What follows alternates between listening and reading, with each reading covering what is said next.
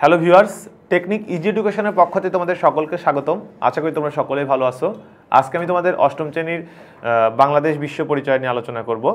তো এইখানে আমাদের আজকে যে বিষয়টি থাকবে, আমাদের পাঠ্যপুস্তকের এগারোতম অধ্যায়, অর্থাৎ যে বাংলাদেশের ক্ষুদ্র গোষ্ঠীগুলো নিয়ে, এবং সেখানে আমরা আলোচনা করব জিএসসি বোর্ড প্রশ্নের সমাধান, সিলেট বোর্ড দুই হাজার ষোলো। অর্থাৎ আমরা সিলেট বোর্ড দু হাজার ষোলো সালে যে প্রশ্নটি এসেছিল, আমরা আজকে সেই প্রশ্নটি নিয়ে আলোচনা করব।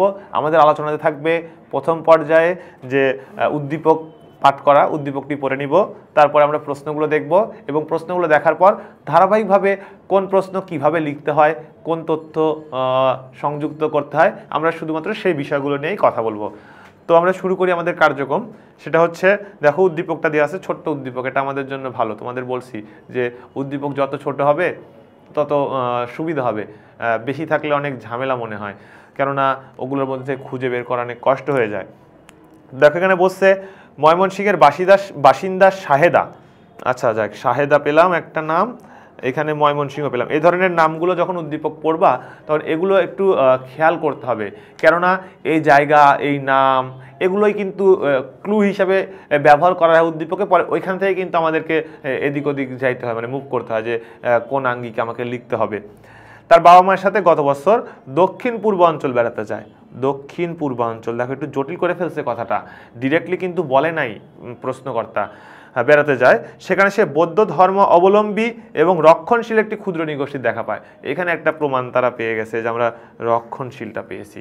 তারপর আমরা দক্ষিণ পূর্বাঞ্চলটা তো জানব যে কীভাবে আমাদের আইডেন্টিফাই করতে হবে। তো দেখো, প্রশ্নগুলো দেখব আমরা এবার। প্রশ্নে বলা হয়েছে, সাঁওতাল বিদ্রোহ কখন হয়? খ নম্বর প্রশ্নে বলেছে সাংঘাই উৎসব ব্যাখ্যা করো। গ নম্বর প্রশ্নে বলেছে সায়দার দেখা ক্ষুদ্র নিগোষ্ঠীর সাংস্কৃতিক জীবন ব্যাখ্যা করো। এবং ঘ নম্বর বলেছে সায়দার এলাকায় বসবাসরত ক্ষুদ্র নিগোষ্ঠীর সাথে তার দেখা ক্ষুদ্র নিগোষ্ঠীর মধ্যকার ধর্মীয় জীবনের পার্থক্য বিশ্লেষণ করো। অনেক সহজ সরল একটা প্রশ্ন। জাস্ট ইনফরমেশনগুলো জানা থাকলে পারা যাবে। তো যেটা বলেছিলাম যে আমাদের ক্লাস রয়েছে ইউটিউব চ্যানেলে সেখানে যদি দেখো, দেখবা যে এই প্রশ্নটার যা যা তথ্য দরকার আমাদের ঠিক সেই সেই তথ্যগুলোই কিন্তু আমাদের ক্লাসে আছে এবং সেখানে দেখলেই বুঝতে পারবা যে আমরা সেখানে সব বলে দিয়েছিলাম। তো আজকে আমরা সেটার প্রয়োগ দেখাবো। আমরা তো সেখানে বিস্তারিত আলোচনা করেছিলাম। সেখান থেকে কোন অংশগুলো আমাদের এই প্রশ্নটাতে কাজে লাগতেছে, আমরা আজকে সেই বিষয়গুলো নিয়ে কিন্তু কথা বলব। শুরু করি আমরা। ক নাম্বার প্রশ্ন, সাঁওতাল বিদ্রোহ কখন হয়? আমরা লিখব যে সাঁওতাল বিদ্রোহ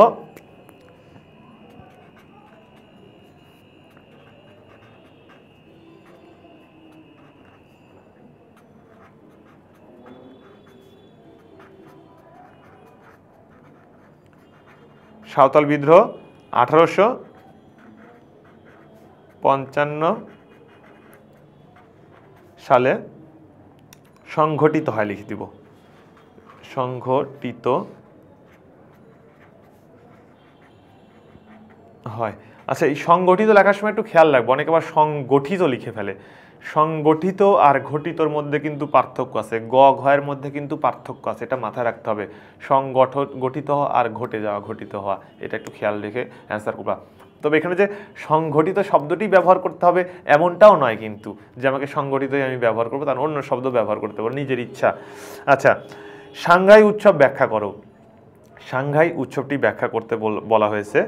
তো সাংঘাইটা হচ্ছে মারমাদের উৎসব। আমরা এখানে একটা বিষয় জেনে নিব। এটা জানা থাকলে আমাদের পরবর্তীতে আরও বেশ কয়েকটা সম্পর্কে আমরা জানতে পারব। সেটা দেখো, এখানে আমরা দেখি বৈশাবী।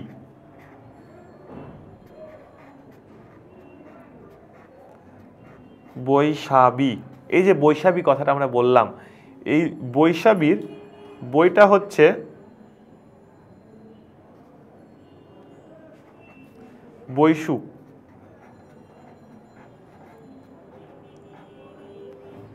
এই যে সা, এই সাটা হচ্ছে আমাদের এই সাংগাই মানে আমি তোমাদের এটা বলতেছি এই কারণেই যে এইখান থেকে তোমাদের অনেকগুলো প্রশ্ন আসতে পারে যেটা তোমার এর সাথে আলোচনা করা হয়ে যাচ্ছে, তোমাদের কাজে লাগবে। এই কারণে, এই সুবিধার্থে কিন্তু। মানে আমার ডিটেলস সবগুলোর দরকার নেই। আমাকে শুধুমাত্র সাংঘাই আলোচনা করতে বলছে।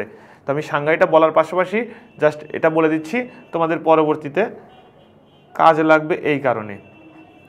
বিজু। এই তিনটা উৎসব আমরা পেলাম। তাহলে দেখো বৈশাখী, একত্রিত বলা হয় বৈশাখী। আমাদের যে মানে মানে ক্ষুদ্র নৃগোষ্ঠীদের যে পহেলা বৈশাখ উদযাপন করে, বিশেষ করে যে আমরা বৈশুক সাংরাই, বিজু, এগুলোকে একত্রিতভাবে আমরা বৈশাখী বলি। এটা কিন্তু বৎসর উদযাপন উৎসব হিসেবে বিবেচিত। এই একটু খেয়াল করো এদিকে। এই বৈশুকটা কিন্তু ত্রিপুরাদের।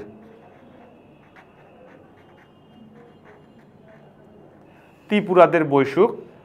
সাংরাইটা হচ্ছে আমরা আমাদের জানতে চাওয়া হয়েছে, মারমাদের হচ্ছে সাংরাই আর বিজুটা তো আমরা সবাই জানি, সেটা হচ্ছে চাকমা। চাকমা। চাকমাদের উৎসবটা হচ্ছে বিজু। এই যে এরা এই উৎসবগুলো পালন করে, তাহলে আমরা আজকে আলোচনা করব সাংরাই তাহলে এই সাংরাইটা যে যেরকম উৎসব, যেভাবে উদযাপন করা হয় বা এদের জীবনযাপন, ব্যবস্থা, এদের বাসস্থান, অবস্থান যেমন একই রকম, ঠিক তেমনি বিজু বৈশ্যকের ক্ষেত্রে দেখব সিমিলার আছে। জাস্ট একদম আকাশ পাতাল ব্যবধান না। অর্থাৎ একজন খ্রিস্টান, একজন বৌদ্ধ, একজন মুসলমান, একজন হিন্দু, এরকম আকাশ পাতাল ব্যবধান না। সিমিলার সিমিলার আছে। আচ্ছা তাহলে সাংঘাই হচ্ছে আমরা প্রথমত বলব সাংঘাই উৎসব ব্যাখ্যা করো। সাংঘাই হচ্ছে মারমাদের বর্ষ উদযাপনকারী উৎসব হিসেবে বিবেচিত। অর্থাৎ মারমারা যে বছর মানে পয়লা বৈশাখ উদযাপন করে, সেই পয়লা বৈশাখ উদযাপনকারী উৎসব হচ্ছে সাংঘাই। এটা হচ্ছে যে একত্রিশে চৈত্র থেকে শুরু হয় পয়লা বৈশাখের দিন এবং পরবর্তী দিন। মোট তিন দিন এই উৎসবটি উদযাপন করা হয়ে থাকে এবং এই উৎসবের সবচাইতে বড় আকর্ষণ যেটা, সেটা হচ্ছে পানি খেলা। বা জল উৎসব। অর্থাৎ এখানে আমরা দেখব যে একজন অপরজনকে মানে পানি দেওয়া থাকে, একজন অপরজনকে দেখা যাচ্ছে যে কান এভাবে হাত দিয়ে পানিটা ছিটিয়ে ছিটিয়ে দেয়। এটা মানে একটা মেয়ে, একটা ছেলেকে বা একটা ছেলে একটা মেয়েকে পানি ছিটিয়ে দেয়। এটা কিন্তু একটা তাদের মানে উৎসবের একটা মানে অংশ। তারা এটাভাবে তারা তাদের উৎসবটা উদযাপন করে থাকে। অর্থাৎ তারা পয়লা বৈশাখটাকে অনেক ধুমধামভাবে উদযাপন করে থাকে এবং এই পয়লা বৈশাখ উৎসব উদযাপনকারী অনুষ্ঠানটাই হচ্ছে আমাদের সাংহাই উৎসব। এটা আমরা লিখে দেবো। তাহলে আমরা দেখো ক নাম্বার এবং খ নাম্বার প্রশ্ন কিন্তু অলরেডি আলোচনা করে ফেলেছি। তো এখন আমরা গ নাম্বার প্রশ্ন নিয়ে আলোচনা করব। গ নাম্বার প্রশ্ন আলোচনা করার আগে আমাদেরকে আবার একটু উদ্দীপকের দিকে দৃষ্টি দিতে হবে। কেন? যে এই গ এবং ঘ নাম্বার প্রশ্নটা উদ্দীপকের সাথে সম্পৃক্ত। আচ্ছা সায়দার দেখা ক্ষুদ্র নিগোষ্ঠীর সাংস্কৃতিক জীবন ব্যাখ্যা করো। সায়দার যে ক্ষুদ্র নিগোষ্ঠী ক্ষুদ্র নিগোষ্ঠীর সাংস্কৃতিক জীবন ক্ষুদ্র সায়দার দেখা ক্ষুদ্র নিগোষ্ঠীর সাংস্কৃতিক জীবনে ব্যাখ্যা করতে বলছে। অর্থাৎ সায়দা যেটা দেখল, কি দেখল সায়দা? যে সায়দা তার বাবা মার সাথে গত বছর দক্ষিণ পূর্বাঞ্চলে বেড়াতে যায়। দক্ষিণ পূর্বাঞ্চল মানে আমাদের দক্ষিণ অংশ এবং পূর্ব অংশ। দক্ষিণ এবং পূর্ব অংশকে মিলে বলা হচ্ছে দক্ষিণ পূর্ব অঞ্চল অর্থাৎ আমরা এখানে দেখব যে আমাদের দক্ষিণ এবং পূর্ব অঞ্চলে আমরা পাবো হচ্ছে বিশেষ করে পটুয়াখালী, বরগুনা এই জেলাগুলো। তাহলে পটুয়াখালী, বরগুনা জেলা আমরা পেলাম দক্ষিণ পূর্ব অঞ্চল দিয়ে। তারপরে সেখানে বৌদ্ধ ধর্মাবলম্বী এটাও একটা মানে ক্লু পেয়ে গেলাম। তারপরে বলছে রক্ষণশীল। রক্ষণশীল যখন বলছে তখন জাস্ট আমাদের মিলানো আরও সহজ হয়ে গেল। রক্ষণশীল মানে কি? রক্ষণশীল বলতে আমরা রাখাইনদের বলেছিলাম যে তারা নিজেদেরকে রক্ষণশীল বলে পরিচয় দিতে পছন্দ করে। তাহলে এখানে আমাদের যেটা বের করতে বলা হচ্ছে, সেটা আমরা অলরেডি বের করে ফেলছি। কি বের করতে বলা হচ্ছে? যে তার যে- সায়দার এলাকার বসবাসরত সায়দার ক্ষুদ্র নিগোষ্ঠীর সাংস্কৃতিক জীবন, দেখা ক্ষুদ্র নিগোষ্ঠী। তাহলে দেখা ক্ষুদ্র নিগোষ্ঠী কি হচ্ছে? যে সায়দার দেখা ক্ষুদ্র নিগোষ্ঠী আমরা এখানে লিখে রাখি, যে সায়দার দেখা ক্ষুদ্র নিগোষ্ঠী হচ্ছে রাখাইন। রাখাইন, আমরা রাখাইন পেয়ে গেলাম। এখন আমাদের ঝটপট এই রাখাইন সম্পর্কে বলে দিলেই, রাখাইনদের কি বলতে চাইছে এখানে? সাংস্কৃতিক জীবন সম্পর্কে বলে দিলেই আমাদের অ্যান্সার হয়ে যাবে। তাহলে আমরা কি বলব? যে রাখাইনরা রক্ষণশীল জাতি, তারা নিজেদেরকে রক্ষণশীল বলে পরিচয় দিতে ভালোবাসে, পছন্দ করে। ভালোবাসে না, পছন্দ করে বলব আমরা। পছন্দ করে তাদের ঐতিহ্যবাহী যে কার্যক্রমগুলো রয়েছে, বিশেষ করে আমরা রাখাইনদের ক্ষেত্রে যেটা দেখব যে তারা তাদের যে বাড়িঘর তৈরি করার যে সিস্টেম সেই বাড়িঘর তৈরি করার ক্ষেত্রে যে বিষয়টা আমরা দেখব যে তারা মাচা তৈরি করে বাড়ি তৈরি করে। কেননা তারা সমুদ্র তীরবর্তী অঞ্চলে বসবাস করে। আমরা ডাকাইনদের ক্ষেত্রে দেখব যে পটুয়াখালী, বরগুনার কথা বললাম। এই পটুয়াখালী, বরগুনাতে তো জোয়ার ভাটার পানির তো সবসময় ওঠানামা জানোই। কেননা সেখানে আমাদের পটুয়াখালীর কথা বললে কিন্তু আমাদের একটা সমুদ্র সৈকতের কথা মনে পড়ে যায়, মনে চলে আসে। সেই সমুদ্র সৈকত কোনটি? সেই সমুদ্র সৈকত হচ্ছে কুয়াকাটা সমুদ্র সৈকত। তো এই কুয়াকাটা কুয়াকাটার আশেপাশে আমরা দেখব কুয়াকাটাতে গেলে কিন্তু রাখাইন দেখতে পাবো। অর্থাৎ কুয়াকাটাতে যখন ঘুরতে যাওয়া দেখবা যে সেখানে যে ক্ষুদ্র নিগোষ্ঠী রয়েছে, সেই ক্ষুদ্র নিগোষ্ঠীরাই কিন্তু রাখাইন।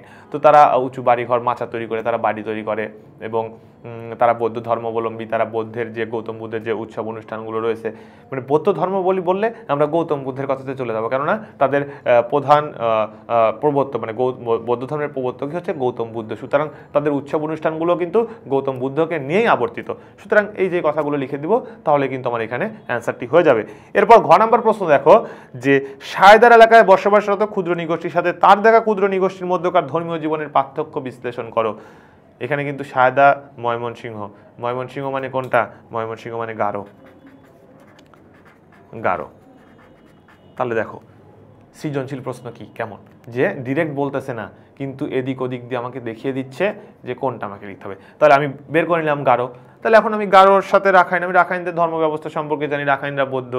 গারোদের ক্ষেত্রে জানি যে গারোদের আদি ধর্মের নাম সাংসারিক সাংসারিক ধর্ম তারা পালন করতো। বর্তমানে তারা খ্রিস্টান ধর্ম অবলম্বী খ্রিস্টান ধর্ম পালন করতেছে। রাখাইনরা মানে গারোরা এখন খ্রিস্ট খ্রিস্টান ধর্ম অনুসারী। এছাড়া তারা বিভিন্ন দেবদেবীর আরাধনা করতো এক সময় যখন তারা ওই যে, যেটা বললাম যে তারা সাংসারিক ছিল, তাতার রাবুগা তাদের প্রধান দেবতা ছিল। এই যে তাতার রাবুগার কথা আমরা বলব, সাংসারিকের কথা আমরা বলব, বলার পর তারা বর্তমানে খ্রিস্টান ধর্ম অবলম্বী হয়ে গেছে, সেই কথা বলে নিব। তারপরে আমরা রাখাইনে চলে আসব। রাখাইনেরটা তো আমরা আলোচনা করলামই একটু আগে, বা এখানে আমাদের দিয়েই দিছে যে সেখানে বৌদ্ধ ধর্ম অবলম্বী তারা গৌতম বুদ্ধের উৎসব অনুষ্ঠানগুলো উদযাপন করে। সুতরাং তাদের সাথে এদের ধর্মের কোনো মিল নেই। এই হচ্ছে আমাদের চার চারটা প্রশ্ন এবং চার চারটা প্রশ্নে আমি তোমাদেরকে যেভাবে বললাম জাস্ট চেষ্টা করবা এইভাবে সিরিয়াল মাফিক সিকোয়েন্স অনুযায়ী সাজানোর।